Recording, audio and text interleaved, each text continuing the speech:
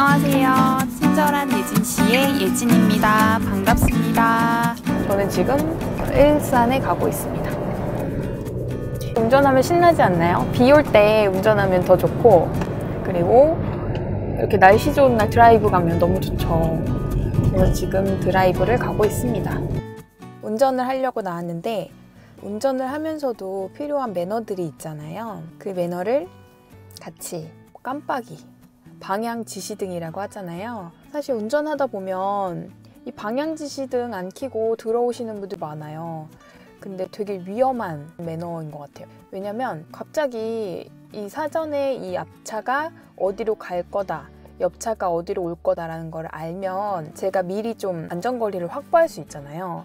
근데 갑자기 끼고 들어오는 경우는 제가 예상치 못했던 것들이 생기기 때문에 항상 안전거리를 확보하는 것도 제 스스로가 필요한 거지만 또 앞차, 옆차, 뒷차의 방향 지시 등도 필요합니다. 비상등을 켜면서 그 표시를 하는 게 있더라고요. 참 재밌지 않나요? 양보해줘서 고맙습니다 할 때 그리고 미안할 경우에도 미안합니다. 제가 먼저 가게 돼서 미안합니다. 어, 갑자기 멈춰서 미안합니다. 뭐 이런 식으로 표시를 하니까 어, 되게 도로 안에서도 암묵적인 우리의 표현이 되더라고요. 가끔 그럴 때 있어요. 앞차가 갑자기 껴들었지만 깜빡이로 이렇게 표시를 해주니까 그래 오케이 알겠어 알겠어. 어, 너 앞으로 갔구나. 뭐 이런 식으로 이렇게 받아들이게 되는 거죠. 그리고 제가 양보해 줬을 때도 고맙습니다 표시해 줬을 때 양보해 준 그 보람 있잖아요. 아주 사소하지만 어, 도로 위에 매너가 있다는 거. 고속도로 주행할 때 왜 그런 거 있잖아요. 1차선이 사실은 추월차선인데 근데 이렇게 여기서 처행을 하시는 분들이 계시면 도로가 이게 순환이 잘 안 되는 것 같아요. 그래서 만약에 좀 천천히 가고 싶으신 분들이다.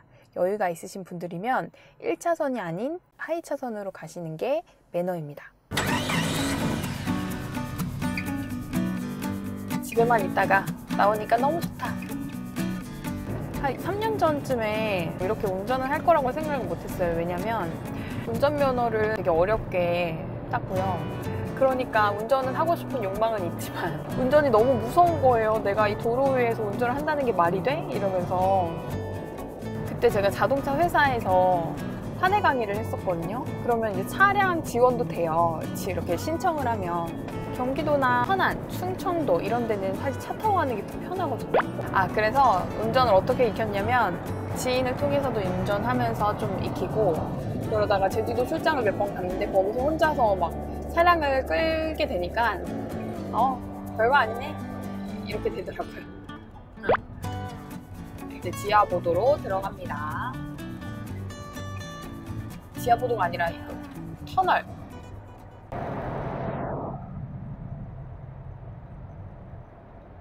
저는 차에서 운전하면서 혼자 노래 틀고 가는 거 너무 좋아요. 제일 로망이었습니다. 저 이러고 나니까 어, 행복하더라고요.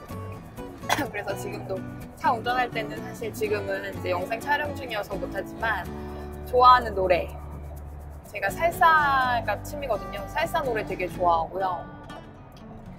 또 발라드 노래 요새 제가 꽂힌 노래 중에 하나가 폴킴의 모든 날 모든 순간인가요? 어, 너무 좋아요. 그래서 그 노래만 거의 100만 번 듣고 있습니다.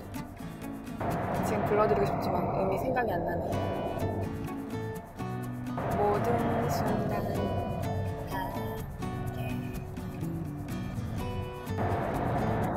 그리고 저는 옛날 노래 되게 좋아해요. 이문세 씨의 그녀의 웃음소리뿐 이런 거 되게 좋아하고 옛날 노래가 더 감성적이고 좋다는 느낌이 좀 많이 들더라고요. 그리고 얼마 전에 비긴 어게인 2에서 여러 가수들이 불렀던 노래 중에 엔젤 그 좋은 나라라는 곡이 있어요. 제가 그걸 들으면서 진짜 아 음악을 들으면서 힐링하는 게 이런 거구나 한 번 더 느꼈습니다. 지하보도를 나갑니다. 아니 통로 터널을 나가고 있습니다.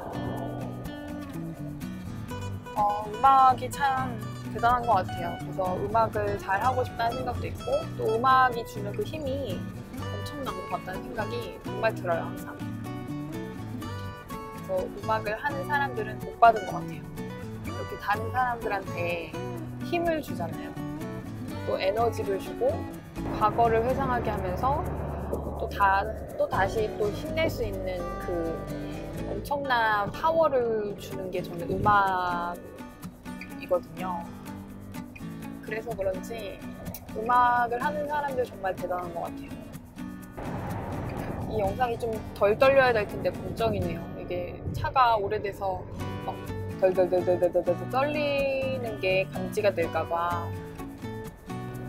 사실 빨간불 뭐, 이 우회전 할 때 신호등이 있을 경우에 그 차량 보행자가 없으면 뭐 가는 게 맞다고들 하시는데 그런 버릇이 생기니까 가끔 사람 있을 때좀 가게 되면 위험한 상황이 발생될 수도 있겠더라고요.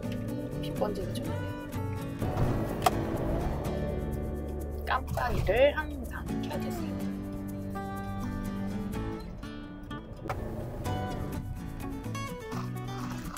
얍얍얍. 어, 친절한 예빈 씨 좋아요, 구독,